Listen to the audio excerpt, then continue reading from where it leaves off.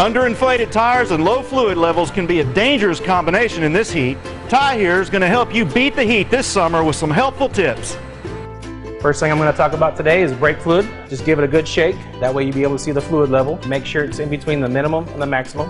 Next is the engine spooling. In this model, it's pink. You clearly see it. Make sure it's in between the minimum and the maximum again. A good way to check your wiper blades, you can just go ahead and lift it up. You can run your fingers down the length of the blade, make sure there's nothing stuck to it, and check the ends. Next easy step is checking your tire pressures with the tire pressure gauge and making sure that they are within the recommended tire pressure specs. Next thing we're going to talk about is tread depth. We're going to make sure the tread is the same height throughout the tire with using a tread depth gauge. Beat the heat this summer by making sure your vehicle is in top working condition for you and your family's safety. Beat the Heat is brought to you by these fine sponsors. For this and other Beat the Heat tips, just go to ConchoValleyHomepage.com forward slash Beat the Heat.